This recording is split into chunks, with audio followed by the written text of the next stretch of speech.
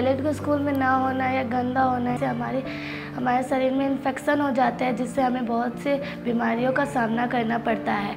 और इसी कारण हमारे माता पिता इसको सुनकर बोलते हैं, स्कूल नहीं जाना। और जिसके कारण हम पढ़ाई में भी पीछे रह सकते हैं। अगर हाइजीन की कमी होगी तो गर्ल्स के तो स्पेशली बहुत ज़्यादा प्रॉब्लम हो जाती है। एज वी नो कि उनको वेजाइनल इन्फेक्शन हो सकता है, जो कि being a lady I can understand that अगर स्कूल में प्रॉपर सैनिटेशन नहीं होगा तो बच्चों की जो हेल्थ है, वो बहुत ज़्यादा इफ़ेक्ट होती है। बहुत सारी डिज़ीज़ जो हैं, वो फैलती हैं। और जिसके कारण बच्चे स्कूल से एबसेंट रहते हैं एबसेंटीज़ रेट बहुत ज़्यादा बढ़ जाता है। और जो बच्चों के पेरेंट्स होते हैं, वो भी बहुत सारे सोशल इश्यूज़ की वजह से भी गर्ल चाइल्ड को स्कूल में भेजना पसंद नहीं करते हैं कि अगर प्रॉपर टॉयलेट की या प्रॉपर सैनिटेशन की सुविधा नहीं होती है स्कूल में।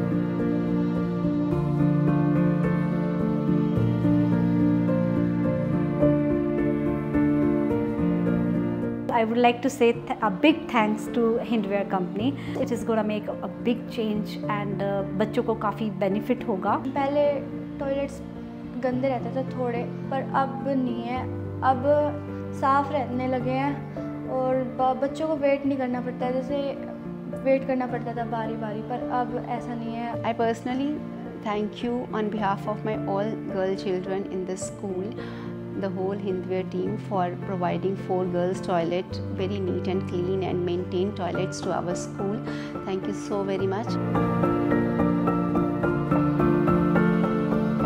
Corporate social responsibility एक ऐसी ज़िम्मेदारी है जिसमें कंपनियाँ अपने व्यवसाय के साथ साथ समाज एवं पर्यावरण के प्रति भी अपनी जिम्मेदारियाँ निभाती हैं। इसी सीरीज़ में हिंडवेल लिमिटेड ने हाइजीन दैट एम्पावर कंपेनियन के तहत हमारे सरकारी स्कूलों में मॉडर्नाइज़ किया है टॉयलेट्स को और एक नए वॉशरूम्स बनाए हैं, जिससे हमारे स्कूल में जो बच्चे हैं उनके स्वास्थ्य पर भी एक पॉजिटिव रिज़ल्ट देखने को मिला है और साथ साथ उनका इन्वॉलमेंट भी बढ़ा है।